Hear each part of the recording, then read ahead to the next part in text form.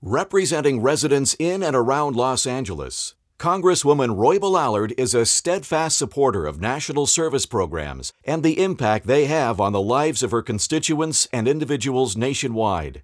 She has witnessed this impact firsthand by visiting programs in her congressional district, and she has fought to protect these programs as a member of the National Service Congressional Caucus and the House Appropriations Committee.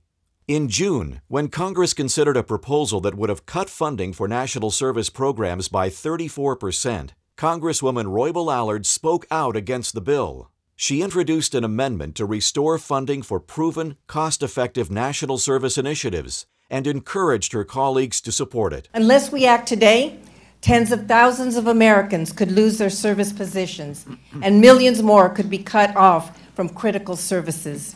The negative consequences would be felt immediately. As a result of her leadership and advocacy for national service, federal funding for the Corporation for National and Community Service was ultimately restored and increased.